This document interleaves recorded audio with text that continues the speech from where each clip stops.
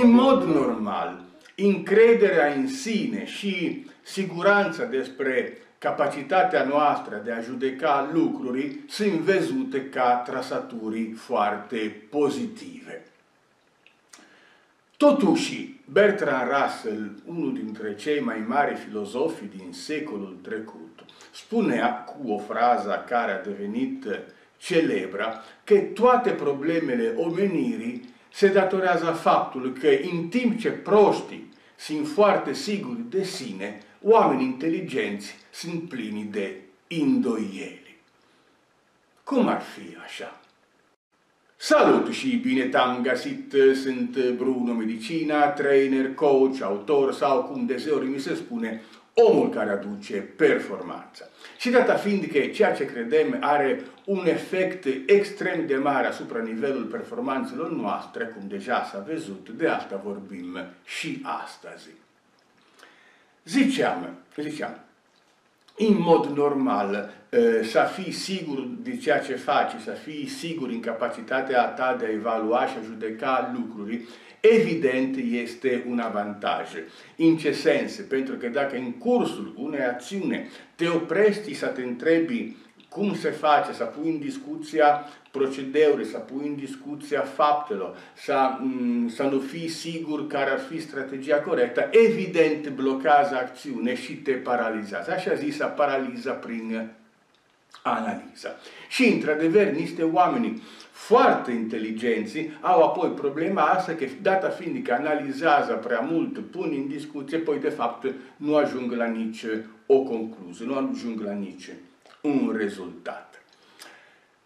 Pe de altă parte, pe de altă parte, orice progres uman din preistoria până astăzi s-a datorit faptului că cineva a pus în discuția lucruri. Adică la un moment dat cineva în Padura, cineva în lumea antică, pe orice problemă, s-a zis, dar stai un moment, chiar așa trebuie făcut, nu există o metodă mai rapidă, o metodă mai ieftină, o metodă mai simplă, etc.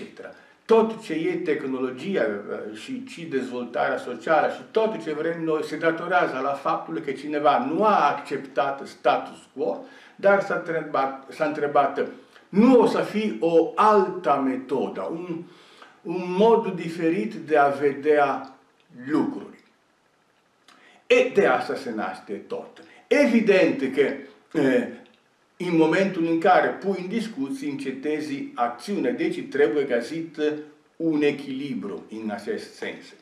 Deci, în momentul în care vrei să înveți ceva, nu are niciun sens să uh, descoperi din nou roata. Du-te la cineva care obține rezultate pe care le vrei e, faci și tu ceea ce faci. Atenție la cineva care face, cineva care obține rezultate, nu cineva care te explică. Sunt două lucruri foarte diferite, că suntem plini de oameni care ne dau explicații. Nu, arată-mi cum se face și înveți și eu. Așa s-a învățat în toată istoria. Te duci la cineva care se pricepe și te învață. Dar nu te opri acolo. Se spune că un, un elev care nu depășește maestru este un elev falit, este un elev ratat, pentru că la un moment dat eu am studiat 10 ani cu un anumit maestru despre orice, despre sculptură, despre muzică, despre mm, contabilitate, nu contează, deci am câștigat toată cunoștința lui, dar la o vârstă mult mai tineră, deci de, trebuie să meargă mai departe și așa evoluează societatea.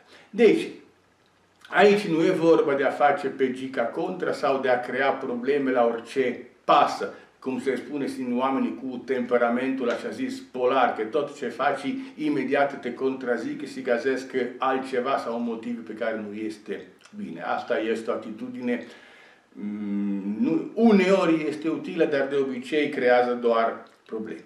Dar, în momente de calmă, să spunem așa, să te întrebi, nu oferă o altă metodă, un ceva mai simplu, mai rapid, mai ieftin, etc. În legătură cu orice.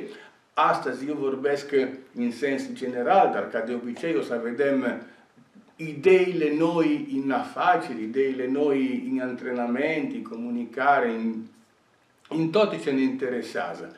Conceptul este, dacă, dacă faci ce ai făcut mereu, cum spune celebra zicala, o să obții ce ai obținut mereu. Și asta, cu, cu toate că nu este complet adevărat într-o lume care se schimbă, ne dă oarecum un fel de garanție, cel mai puțin psihologic. Dar singura cale de a evolua, de a face mai bine, este să găsești curajul de a pune în discuția calea. Calea cea mai percursă. Cum se spune, în momentul în care este pe drumul cel mai batut, este sigur dar lucrurile într-adevăr interesante din un punct de vedere al banilor, descoperire, a tot ce este, le găsești afară din drum, unde lumea încă nu a umblat. Deci, evident că e ceva greu, e risc să nu găsești nimic, dar poate fi sursă unei descoperiri pasionante. O zi bună în continuare!